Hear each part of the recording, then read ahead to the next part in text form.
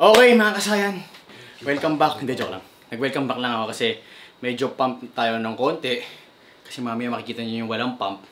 So, chest day tayo. In-apply ko lang yung mga sinabi kong common mistakes na dapat itama. Okay? So yun, wala na. Ito na yung intro.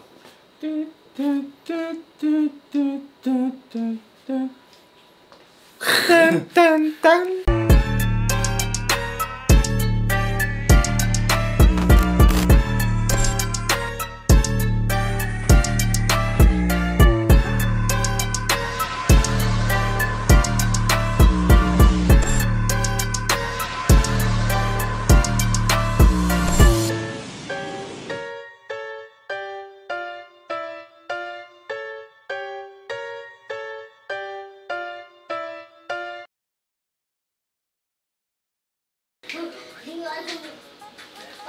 Sa'yo ni Master. Sa'yo ni Master ginaga. Lul, sa'yo mo yun eh. Okay, so welcome back mga ka-science channel natin. So, July na. Kailangan natin mag-daily vlogs para makabawi naman tayo sa inyo. At saka, tatry na natin mag-all out ulit. Okay? Sa diet, training. So, subukan natin. Kasi, if ever man matuloy yung laban sa November, biglang maging okay na which is sana pinagdasal natin para na rin maging okay na rin lahat ng mga yung sitwasyon ngayon sa, sa Pilipinas at saka sa buong mundo. Siyempre, dami na rin nahihirapan. So yun, if ever matuloy man yung laban sa Japan, so yan, pupunta tayo dyan. So bago pa lang lahat, shoutout sa Nitrogen Fit. Huwag niyo kalimutan yung belt na gagamitin natin mamaya. Nitrogen Fit. Order na kayo online, nitrogeninternational.com at saka syempre Team KG at saka Ensayo at saka syempre Waking. Abangan nyo next week gagawa akong video. So yun, uh, gawin ulit natin yung sa chest naman since chest day naman ulit ako ngayon. Gawin natin yung yung ginawa natin last time. Okay, so magiging topic natin ngayon is yung common mistakes ulit. Pero ngayon sa chest naman. Kung hindi nyo pa napapanood shoulder day, um, common mistake doon sa shoulder, yun, check nyo lang, try ko dito. So yun, tara. Saka shoutout pala dun sa mga kasali sa group natin sa Facebook, Team Kasayan. Sorry, let's go. Okay, so mga kasayan, bibilisan lang natin. Tapos, syempre, para makapakita rin ako sa inyo ng training. So, ayun, ah, dito pala sila Brad, huwag niyo kalimutan, follow channel niya. Ingrid Hanaoka, youtube.com slash Ingrid Hanaoka, okay? So, suporta sa mga kasayan natin dyan kay Kachichi. So, yan. Saka syempre kay Rookie, yung channel nila, channel niya, pero i-feature na dun lagi si Rap Rap. Dami ko na sinabi. So, alam niyo naman na yung Warren Alviar, yung kumakanta ng Justin Bieber. So, yan. So, yun. Bagay na bagay sa kanya yung boses ni Justin Bieber dati, di ba? Alam siya yung kumanta eh. Ano kanta ba yan? Oh, oh, Okay. okay, so, yun mga kasayan, uh, unang-unang ah, madalas na nakikita natin na common mistake ng mga tao pag nag-chest sila is yung shoulders nila, hindi nila nire-retract at patalikod. Okay? So, kailangan yung shoulders yung move nyo sa likod tapos naka-retract. Kaya ang minsan ang nangyayari, madalas nakikita ko, flat lang. Tapos, madalas pag nag-push na, yan, gumagana yung shoulders, hindi nila masyadong na-engage yung chest nila dahil hindi naka-retract yung likod sa may shoulder blades, hindi naka-retract yung shoulder blades. So yan, kailangan ganyan. Tapos kaya mo lang gumana yung muscles mo pag nag-push ka na ng movement. Kumbaga, iba yon sa move mo lang yung weights kaya sa ginagamit mo yung chest muscles mo pang move ng weights. Okay? So pag hindi mo inisip yung retract sa shoulder blades, mangyayari yan. Move mo yung weights, tendency talaga, mag-move forward din yung shoulders which is mawawala na yung tension sa chest. Okay? So yun yung magiging pinaka unang common mistake. So papakita ko sa inyo. So lightweight lang ulit. Pinakita ko sa inyo. So ito, kung makikita nyo mga kasayan. Ganito yung flat lang ha. Papakita ko sa inyo ha. Flat lang. Flat. Pupush ako. Mm. Kesa pag yung naka-retract, papakita ko sa inyo.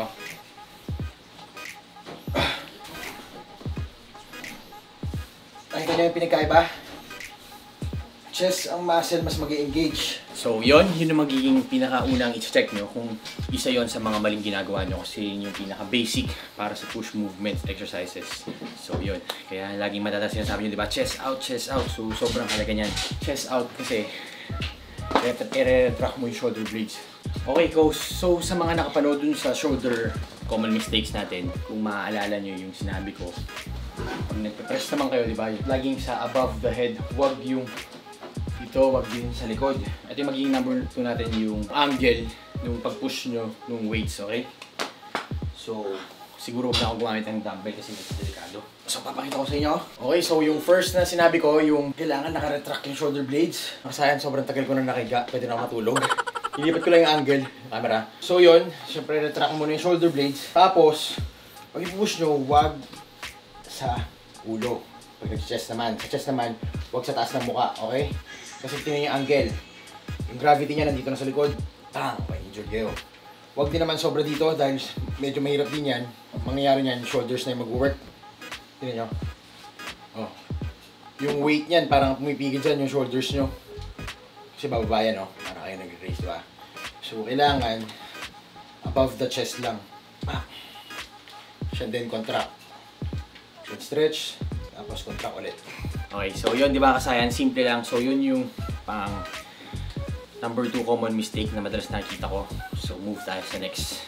Isama ko na rito dun sa angle since halos same lang naman to pero papakita ko naman sa inyo. Kasi hindi na ako higa para mas makita nyo. Isipin nyo lang nakahiga ako. Then syempre, kung inayos natin yung angle ng pag-push dito at yung dito, ngayon sa angle naman nung sa gilid natin. So, parang yung in-explain ko rin sa shoulders natin, pag nakaganito tayo, dapat hindi nakaganito. Kasi mas mag-work yung tricep. Hindi rin sobrang layo dahil ang hirap sa gravity. So, ganun din sa chest. Hindi dapat sobrang layo kasi hindi tayo nagfa-fly. Press gagawin natin kasi isipin mo pa nag-press ka nandito kamay mo. Oh, di ba? Hirap yan. Lalo na kung nakaganito, hindi nakaganito. Kumbaga kasi pag mag-fly movement tayo, di ba? So yun, wag din naman sobrang dito. Kasi mas mag-work na ulit yung triceps. Kaya alam niyo yung close grip bench press. Tricep workout yun. So yun, so yun. Move na tayo sa third. Pero hindi, yun na yung gawin natin third. Common mistake kasi yung una, yung angle ng pag-push eh. Yun naman, yung angle kung paano mo hawakan yung ano. Kailangan lagi ulit yung weights nasa taas ng elbow. Parang shoulders lang. Okay? Tapos syempre, madalas pag nagbe-bench press kayo, yung yung elbows nyo, hindi nyo masyadong tinatap in. Kailangan medyo malapit yan sa katawan. Kasi pag dito yan, mas more mag-work yung shoulder, front delts ulit. Kasi dati naalala ko ganyan din ako mag-press eh. Ano, press. Kaya masyadong hindi nag-develop ng maayos kahit sobrang tagal ko na nag-gym. Hindi masyadong, kumbaga, um, hindi ko strong point yung chest kumpara sa shoulders. Tapos, hindi ko strong point yung chest kumpara sa shoulders. Tapos, yung way pa ako mag-press is nakaganito. So, yan, more on. Madalas makikita nyo yan sa mga um, aesthetics na mga sikat sa ibang bansa noon. Pero ngayon marami na talagang nagbabago niyan sis. Mas madali na makakuha ng info ngayon, okay? So yun, tapos move naman tayo sa fly.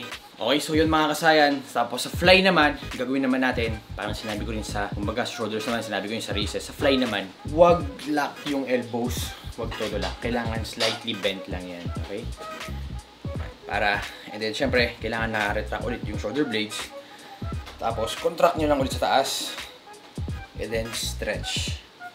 Kung ano yung movement, kung ano yung kung, kung ano yung kung anong starting point nyo sa elbow nyo, most likely dapat ganun din sa end nung movement.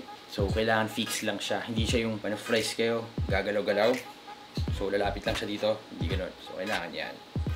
Kumbaga parang magiging ah, yung biyahe ng weights malayo. Kasi pagka nagbe-bend yan, papunta lang yan dito, sobrang lapit lang. Diba? So yun. Okay? Tapos yun, bonus na lang din, kaso, kaso lang wala kasi tayong pec deck machine dito. Yung angle din nung paano yung hawakan. Yung iba minsan nakikita ko dito. Okay? Para, pero sa akin kasi mas nag-work, mas nararamdaman ko. Pag hindi, pag hindi siya pantay nung shoulders ko, mas mababa. Mas nararamdaman ko yung yung pag-fly ko sa machine. Pag mas mababa. Para sa akin yun na, ewan ko lang sa inyo. So, i-try nyo na lang. Okay? Next naman natin kasayan is yung um, cable fly. So, kumuha lang ako dito, bands lang. So, pero okay lang, papakita ko pa rin sa inyo. So, madalas common mistake naman dito is, yun nga, pag nag-fly na tayo, minimove natin yung shoulders natin sa, sa harap. As in, so, parang kasi syempre, yung weight, di ba, yung madalas kasi pa nag-fly tayo, sobrang bigat. Kaya ang nangyayari, kailangan natin mag-move forward, tapos nangyayari, minimove agad din natin yung shoulders natin forward. So, kailangan dyan, all throughout the exercise, kumbaga, lagi ulit naka-retract yung shoulder blades. Tapos, yung naka-arch yung lower back nyo. Okay? So, kung mapapansin nyo, medyo awkward lang itsura. Retract, then arch yung lower back. Para ramdam na ramdam yung stretch. Okay? So, hindi ko masyadong move forward, pero yung chest ko, ang ginagamit ko para sa movement.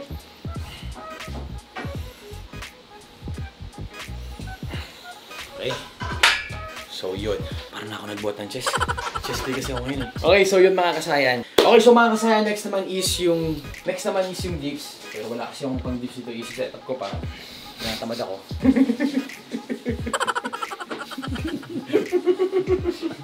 no. Pero imagine niyo na lang, meron tayong nag-dips dito. So, madalas, pag nagdi-dips kayo, ang madalas nakikita kong um, common mistake is masyado lang nilalak out sa taas. Yan. Pag ginawa nyo yan, more on tricep na nag-work dyan. Kaya hanggat maaari, isipin nyo ito yung dips natin ha. Yung handle. Dito. Tapos naka-move forward dapat yung, kumbaga parang naka-lean forward yung katawan nyo. Nasa likod yung bandang paa para medyo mabalance nyo. Stretch yung chest, yung lower chest. Pag itataas nyo, hanggang dito lang. Okay? Kasi, contracted na yung chest dyan. Kasi chest yung ginagamit nyo, hindi naman yung tricep. Unless yung dips nyo is for tricep exercise. Tsaka nyo gagawin nyo. Diba? Full range nyo sa triceps. Pero kung lower chest lang, dun lang kayo sa may bandang, yan sabi ko, mas just medyo mag-lean forward kayo para mas ma-engage nyo yung lower chest. So, medyo maglabo ng pagka-explain ko dun kasi walang dips na ano, example. So, yun. Push-up na lang tayo. Push-up. Sa push-ups naman, isipin nyo, kayo yung sa higa. Pero sa push-ups naman, madalas nakikita ko rin pa nagpo-push up. Yan. Yung sinasabi ko, kailangan dapat pa nag-push up ni kayo, tuck in. Bam! Yan. So, kung makikita nyo, pa nag-push up tayo, hindi ganito. Hindi ganyan, hindi ganyan, hindi ganyan mag-push up, hindi malapit sa mukha yung, yung siko. Na-imagine nyo ba? Dapat, syempre, retract pa rin yung shoulder blades, tapos medyo tuck in. Okay? Bam. Oh, push up. Okay? So alam nyo na. Sana natawa na rin kayo at the same time. So yun mga kasayan, ginawa ko lang medyo mapasaya kayo at saka medyo informative. Bubuhat na tayo ng chess. Mabiisan lang to. Let's go. Three warm-up sets. Ito gagamitin natin. Mabilis na lang. Tapos two super chin sets. Let's go!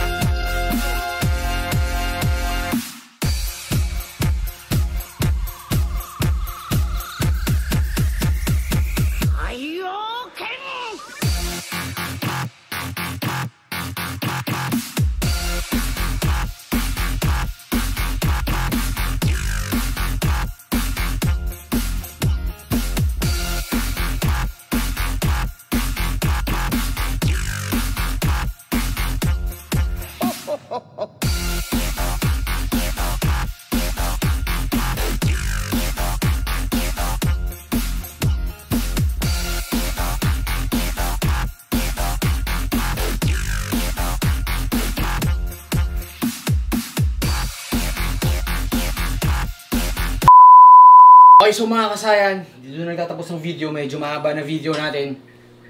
Dito na ako kuha ng shout, mga isa-shoutout para sa next video natin. So, kung gusto nyo ma-shoutout, comment lang kayo below nung pangalan nyo. At saka syempre, kung taga saan kayo mga kasayan, gusto ko mo rin malaman kung taga saan yung mga kasayan natin, okay? So, yun lang. Kita-kita tayo sa next vlog mga kasayan. At saka, i-like nyo na rin at saka i-share at syempre mag-subscribe, okay? Thank you. Kasayan,